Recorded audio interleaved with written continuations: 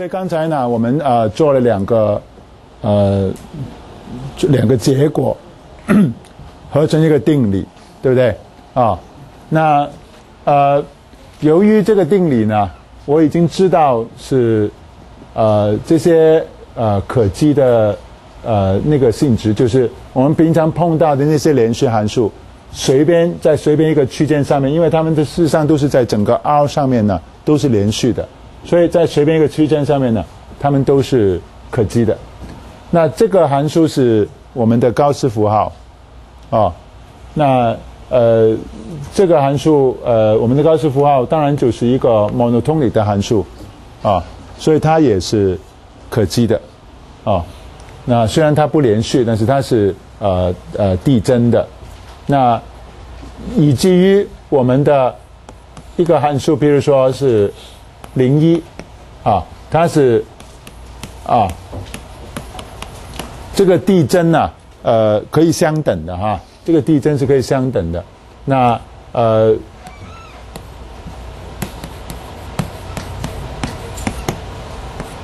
比如说是这样子，哦，它零到二分一的时候是等于零，二分一到一的时候等于一，那这个当然也是可积的，哦，它是因为它是 monotonic，哦。那好，所以我们知道这个。那，呃，所以事实上不连续的时候呢，如果你呃，如果你是递增的，都是可积的。那如果它不是递增的，有没有可能也是可积呢？那下面我们这个定理呢，就回答这个问题。啊，就是只要简单来说是说，只要你有有限个不连续点，所以你的函数呢？基本上是连续的，你是这种的函数，你可能是，呃，啊，换句话说，你是个分段连续的函数。如果是这个样子的话呢，啊，就是你，呃，再加上你是邦的，哦，那也是可积的，哦，那这个是重要啊，因为呃，我们事实上有时候。会碰到这种的这种的函数，呃呃啊呃，当然呢，这个积分的效果是怎么样子呢？呃，就是你的积分呢，事实上是等于各各段的积分的总和，不是吗？啊，所以它是呃等于 a 到 z 零再加。F 再加 z 零到 z 一，f 再加 zn 到 b 的 f 的这个积分，哦，呃，我们做到是这个样子的，哦，那连续函数是可积的，如果你有几点不连续的话呢，你还是可积的。事实上，如果你有无穷点不可积，如果你是呃这个可积点是可数的。不可呃，再来是，呃，你的不连续点是可数的，还是可积的？我们事实上是可以，还是可以证明的啊。那呃，这个还没有到那个地步，但是呃，由于时间的关系呢，这个定理的证明呢，我我呃，我想我要下星期一再跟大家说啊。所以这个是呃，这个定理呢，proof later 啊，我我下星期才给大家证明。我要接接下去就是说，下面那个课题就是说。好了，你判断了这些这这几类的可积函数积分是什么？怎么求？啊，在那个微积分基本定理出现之前，我们怎么求这个积分？啊，那呃，我们就有呃另外一个定理去讨论这个事情。啊，所以 question 就是说，如果 f 是 integrable 了，你判断了。可是它的积分是什么？啊，我们呃都懒惰的哈，就是一般呢，我们就写应该是写上是这个样子，但是呃写上这个样子已经是将呃所有重要的资讯都都放出来了啊，所以这个等于什么东西？啊，那哦，那呃我就有以下的。一个定理，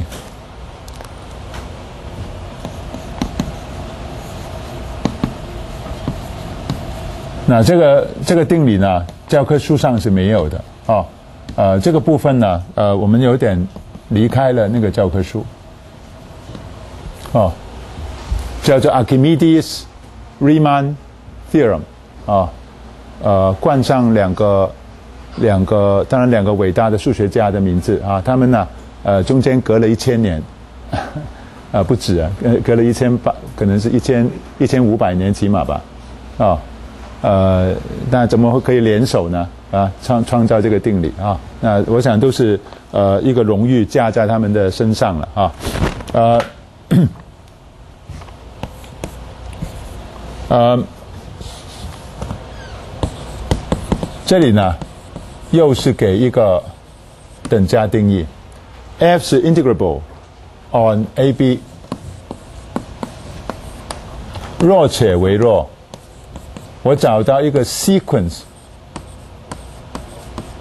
of partitions，啊，我不只有一个，我有一串一串 partition，我叫做 P，呃，对我还是叫做 Pn，啊，这个是 sequence 来的，啊，使得呢，我的 limit，我的 upper sum 减 lower sum 的那个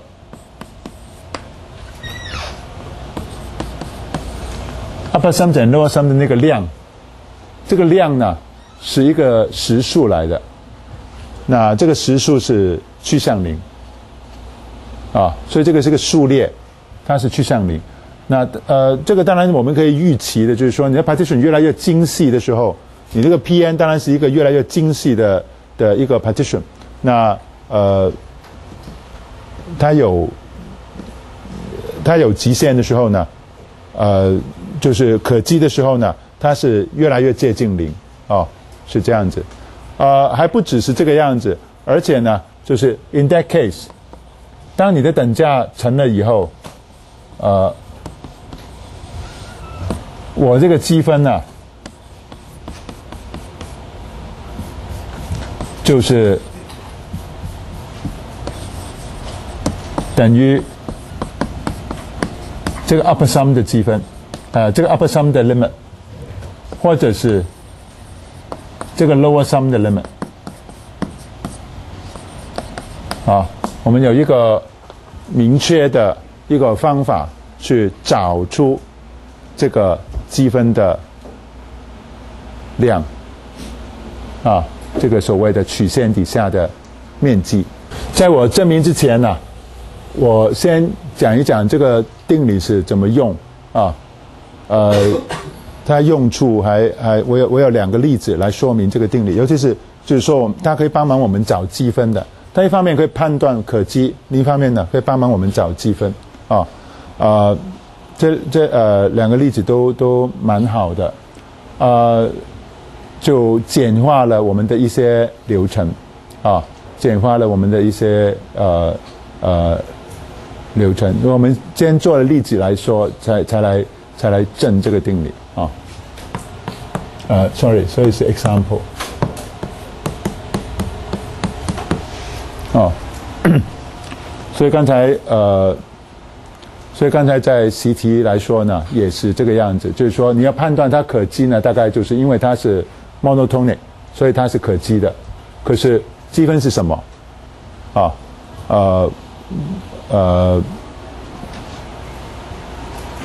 就要靠这个定理，就要靠这个定理啊！所以我我要先告诉大家这个定理是怎么用啊？那呃，你就可以比较方便写这个习题啊。呃，第一个例子呢是简单的，实际上我们呃大大概都都碰过了。在这在做这个例子之前呢，我要先就是呃，现在是开始就是有一个定义。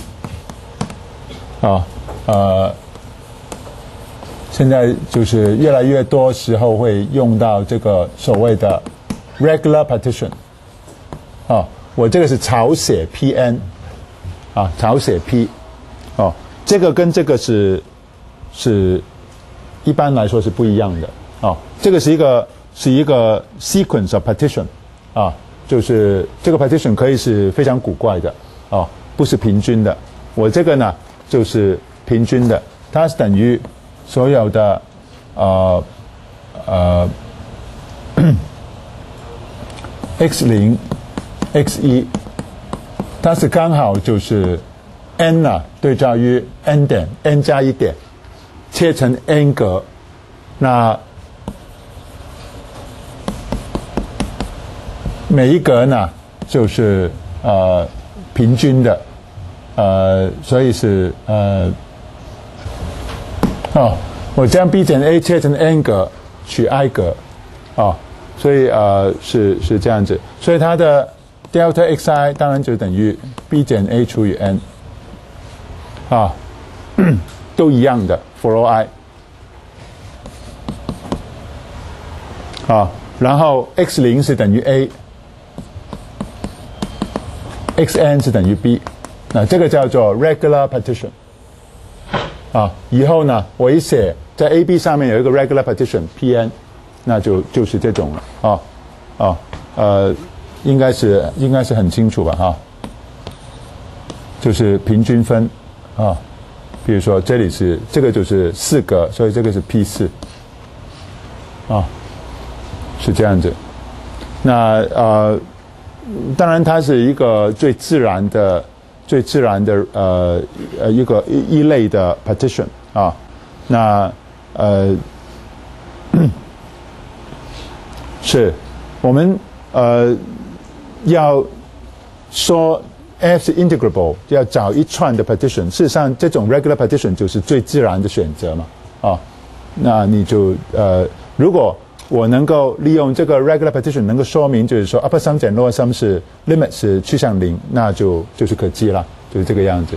所以呃，这个就是我们刚才的这个第一个例子，就是 f(x) 等于 x 平方，啊，我就考量这个 regular partition。啊，我我不写那么多了，啊，呃，我的，所以是 omega f p n。啊，这样子写就是 regular partition，对不对？啊，所以是等于什么呢？是等于 summation 的所谓的 omega i delta xi。那你的 omega i 是什么呢？omega i 相当于就是说是我的右端点 xi 平方减掉左端点 xi 减一平方，这个就是啊，因为它是递增的，哦，它是递增的，然后。我的呃，我要在哪里？简单零一，哦，所以呃，你的那个每一个，你的总长度是等于一，所以呢，每一格那个长度呢就是 n 分之一，是这样子，啊，啊。当然，呃，这里再写出来，再写清楚一点呢。那个呃，xi 跟 xi 减一，事实上是也是也是呃清楚的，它就是等于 n 的平方分之 i，然后 n 平方分之 i 减一平方，哦，分之 i 平方，然后呢是 i 减一平方，因为我的 xi 呢，事实上是等于 n 分之 i。啊，呃，按照我这边的那个运算呢，xi 就是等于这个东西，所以是总共呢，我有一个 n 四方，n 三方，啊，有一个 n 平方从这两个项走出来，然后再再加上这个 n，然后 i 是从一到 n，那呃，这个差异就是。呃，也不难看得见，就是等于，呃，两个两个 i 嘛，哦，就是两个 i，i 的总和就是 n n 加一除以二，是不是？那所以这个当 n 大的时候，啊，当 n 大的时候就趋向零。S n 趋向无穷，这个是很清楚的，啊，那所以呃，我们这个 regular partition 呢，这个 Pn 呢，就满足这个条件啊。那事实上，当然呢，我们前面已经说了，这个是连续，而且这个是 monotonic，f 是 integrable 是没有问题。那我做这一串是什么呢？就是这个 Pn 就是合法的这些 Pn，然后它的积分呢，就是就是等于 upper sum 的 limit。我事实上是目的是要做这个啊，呃，是这样子。那所以呃，我的积分 ABF 呢？就会是等于我的 limit of 这个呃 upper sum 是这样，那这个 upper sum 的 limit 呢是等于 summation 的呃事实上是 n 分之一呃 哦它的大 mi 事实上就是右端点乘以这个 delta xi 是不是啊？就是大 mi delta xi 的 limit，从一到 n，然后 n 趋向无穷，所以是等于 limit。那个是这个是 n 分之一，这个是 n 平方，所以总共 n 三方 summation 的 i 平方，n 趋向无穷，是这样。那 i 平方的总和呢？是知道的，是等于啊，就是 n 三方分之一，然后就是六分之 n n 加一，二 n 加一，是这样。好，那 n 趋向无穷，所以分子有三个 n，分母也有三个 n 乘在一起，哦。所以你每一个都除 n 立方的话呢，呃，分子就就是这个 n 立方的系数就是二，跟分母约掉等于三分之一。哦，这个就是它的面积，x 平方。哦，那这个计算就就简单不少了啊，就是我们可以真的是找到这个面积哦。利用这个所谓的阿基米德黎曼定理，所以前面的那一段呢，事实上是好像是有点多余，但是是要验证，就是我这个 Pn 就是所谓的合法的这个 Pn，后面的才会 follow 啊，你不是随便一个 Pn 就可以，呃，它的 limit 呢就是我们的那个呃呃积分的啊，呃曲线底下的面积的啊。是这样子，OK，所以这个是一个例子。第二个例子，这个是更有趣了，而且这个例子也是非常经典的啊啊。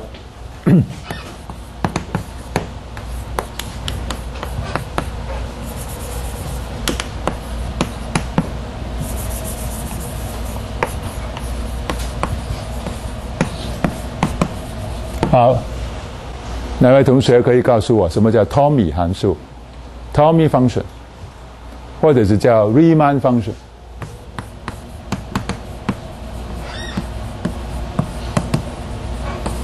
这个我们之前有讲过的，讲连续函数的时候有讲过的。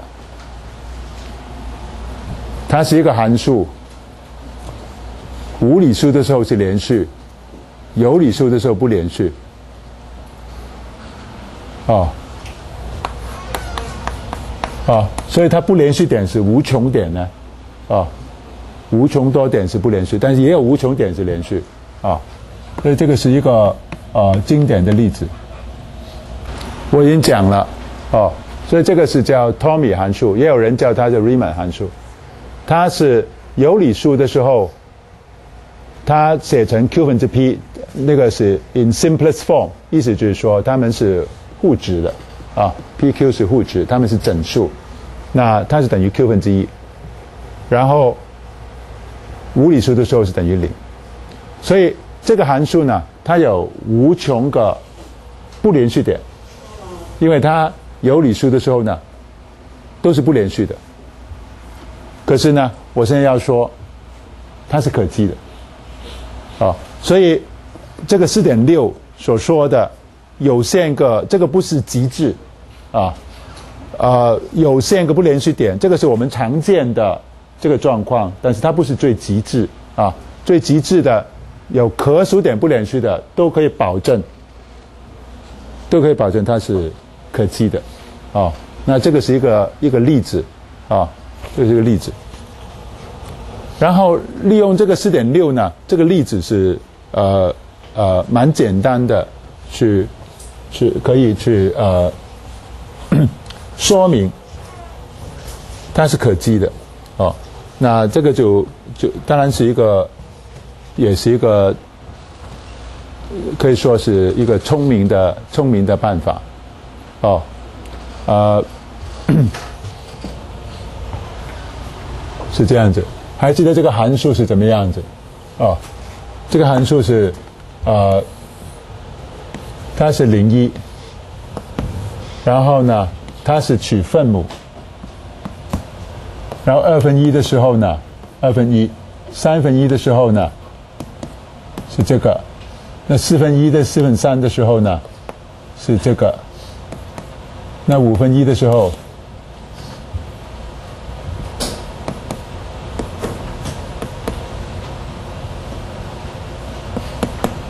啊，一直，当你的分母越大的时候，函数值是越小，在底层呢就是密密麻麻的。啊，我们那个时候呢，就是能说明了它是呃这些无理数呢一个个的掉在上面，啊，所以呢呃它附近有很多有理数，所以不连续。所以像你用 sequence 的看法，就就很容易就看得出来了。啊，不可能连续。可是有理数是连续呢，就比较复杂了。你要 epsilon delta，要小心看它，才可以看得清楚。哦，主要是说你有理数的时候呢，呃呃，跟它距离远的地点呢，事实上都是有限个。那所以我只是要将这个 delta 弄小一点。啊，我就将这些有限个距离远的点呢，给它丢掉，啊，给它隔离。那剩下来的都是距离很近的，所以连续啊是这个意思。好，讲可积呢，实际上是有也有两个方法。呃，一个简单的方法，一个一个比较直观的方法是这个样子，一样的，调得高的点呢，它的积分是什么？我告诉大家，这个函数的积分是等于零。啊，这个等一下我们要要证明的，哦。实际上就是这里出来的，哦，那积分等于零，你现在调就是说那些有理数不是掉在上面吗？你的 mi，你那个所谓的大 mi delta xi 是是怎么样子？那呃一样的说法就是我呃我事实上呢这个 upper sum 呢，当你的点越来越密的时候是越来越小，那。麻烦的地方就是这些调的高的点，可是呢，调的高的点就跟之前的说法一样，基本上都是有限点。如果有限的话呢，我就是可以用一些很小很小的宽度的区间，使得它的和呢不大，啊，它的和可以控制的蛮小的啊。给定了，比如说 epsilon 给我，我就用一半的 epsilon 平均分散这些。这些大的点，那其他点呢都要小于二分之 epsilon，啊，那超过二分之 epsilon 的点呢，我就是用这个宽度，用这个 partition 的这个宽度呢去控制它，使得它的面积呢不会太多，啊，是这个样子。那呃，这里要叙述的话呢，就也蛮麻烦的。那我们现在呢，就利用这个 Archimedes Riemann theorem 呢，有一个。也可以说是蛮玄，但是很简单的一个论据，利用这个四点六这个定理呢，就可以说明它是可积，而且积分是等于零，啊，大家可以看一看这个这个这个呃这个说法是怎么样子。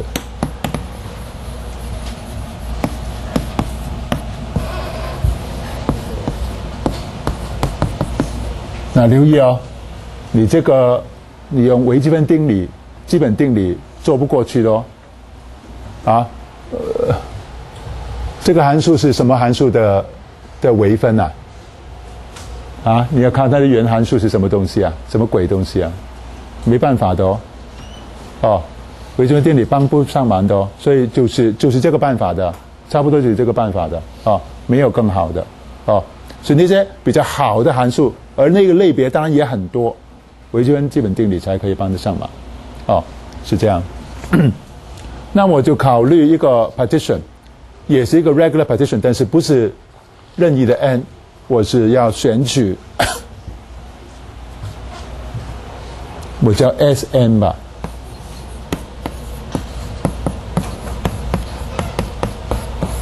这个当然就是从一加，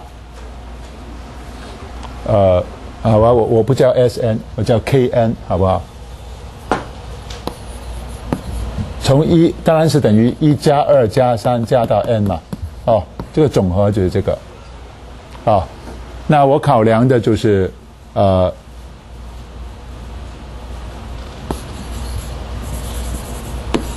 ，consider 这样子的一个一个 sequence，啊，我不是所有的 regular partition 啊，但是是呃。一个 regular partition 的一个 subsequence 是这样子啊，这个呃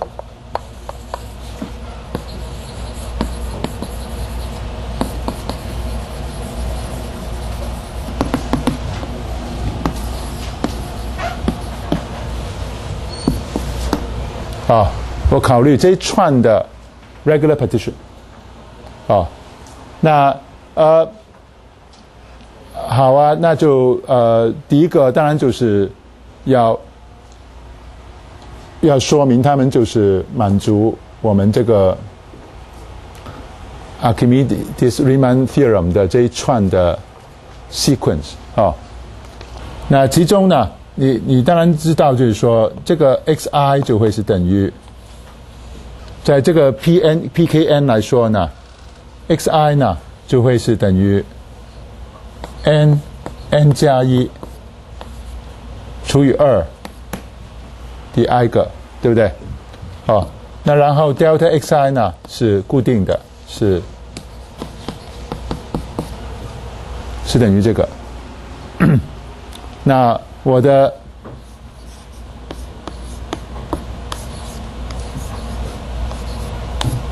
呃，我很明显就是说，obviously。就是这个 lower sum 嘛，对于这一串的 regular partition，它 lower sum 是什么？啊，它的 lower sum 是 summation 的小 mi delta xi，啊，那它无理数是等于零啊，而且无理数是 dense，所以事实上你任何的小区间都有一个无理数，所以你的小 mi 什么一定是零嘛。这个是一定是可以的，啊，因为无理数是 dense，啊，那所以我只需要说明这个 upper sum 呢是趋向零，我就做完了，啊，我这个 claim，claim 是什么？就是这个 upper sum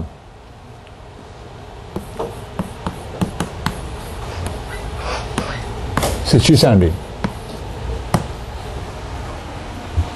啊，如果我能够做到这样这样子的话，那这个 upper sum 减 lower sum 当然也是 limit 是趋向零。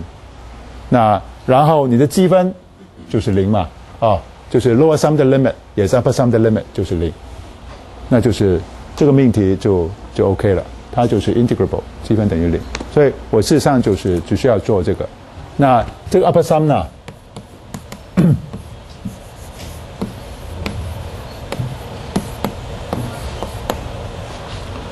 就小于等于，呃，事实上就是等于我的大 Mi，所谓 delta xi，delta xi 是很清楚，就是等于 n n 加一分之二，而只是我这个大 Mi 是怎么样子？呃，也没关系啊，大 MI 我就找出我最大的那些数嘛。哦，这个大 MI 呃最坏的状况是怎么样子？最坏的状况就是这里占一格，每一个这些高高掉在上面的那些每一个都占一格，就这样子嘛。哦，那所以呃。甚至我可以这样子的，每一个都占两格。比如说，呃，刚好你的一是一，当然是占一格，可是二分之一可能是在两个两格的中间那个点，所以呢，它既是左方的 maximum，也是右方的 maximum，啊，是是这样子。所以我可以呃大方一点，让它占两格，所以是二乘以一。呃，我这个二呢，我干脆就写在外面，好，然后是一，再加一就是最高的这个点，二分之一是次高的点，三分之一有几个点？有两个点，啊，一个是三分一，一个是三分二，它的函数值都是三分之一，啊，然后四分之一。顶多三个点，啊，你呃，事实上它只有两个点啊，在我们的特例来说，但是我我就给它弄，啊，最后呢，n 分之一就是 n 减一个点，我这里数下来总共有多少点？啊，呃，大家可以可以可以呃，我看哈。事实上就已经一定是够的了，为呃为什么？因为我是呃不可能超过这么多的。我事实上一只有一格，只有一格，然后这里是代表一格、两格、一加二加三，一直加到 n 减一，啊。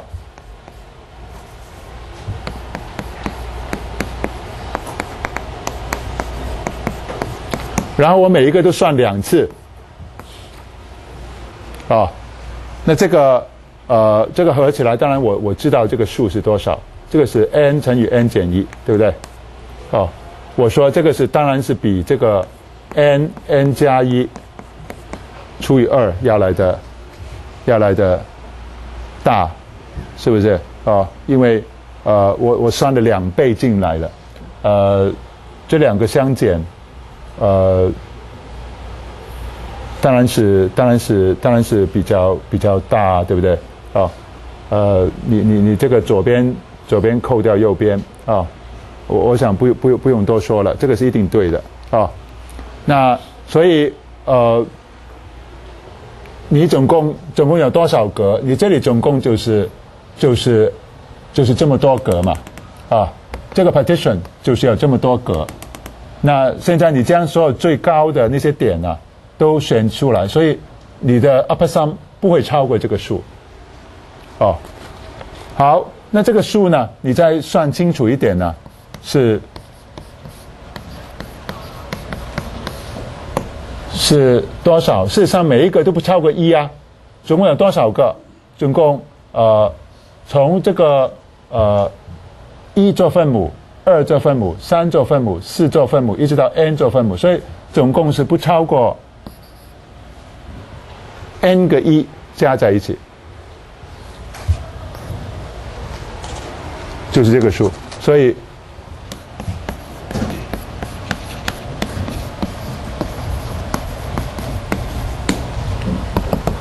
我们的结论就就成了，对不对？我们的结论就成了。那。所以我的 f 呢，把这个四点六呢，f 是 integrable，而且呢，and 这个积分呢，一定是等于零，啊，那就写完我这个这个命题了，这四点七啊，啊，所以这个。呃，，Well，事实上时间也差不多了。呃，当然在这里的应用是是重要的哦，哎，所以这种的 sequence 呢，呃，事实上我们也有一个呃名称的哦，我们叫这个这些 Pn 呢，就是我们叫你可以看成是这个定理的一个 remark，我们这个 Pn 呢。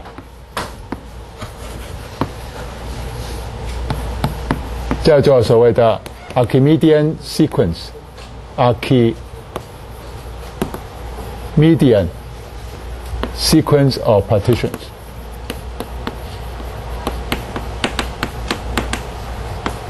啊，那而最重要的这个 Archimedean sequence of partition 呢，就是我们的 regular partition，对不对？啊，但是我们要验证的啊，它真的是。有这样子的一个一个好的性质，譬如说，呃，你可以看到就是这个和这个 upper sum 的这个邦呢，事实上是呃不简单的啊，呃要要小心的做估计的。那呃，所以我们要选取的不是所有的 regular partition，而是它的一个 subsequence，啊才会 work 啊。那这个是这个例子是是很特殊的啊。现在这样子写已经是还非常简单的了。如果按照我刚才第一个想法去做的话呢，呃，我猜是要一个黑板的，啊，一个黑板才给他写得清楚，啊，那个不是那么那么呃，啊，那个论据是要很小心啊，要算得非常清楚。那现在呢是比较简单，啊，那我想我今天呢就来到这里。那我今天我们的定理四点六跟四点七呢都还没证啊。那但是呃呃，他们有他们的意义，而且这个四点七是一个蛮好用的那个定理。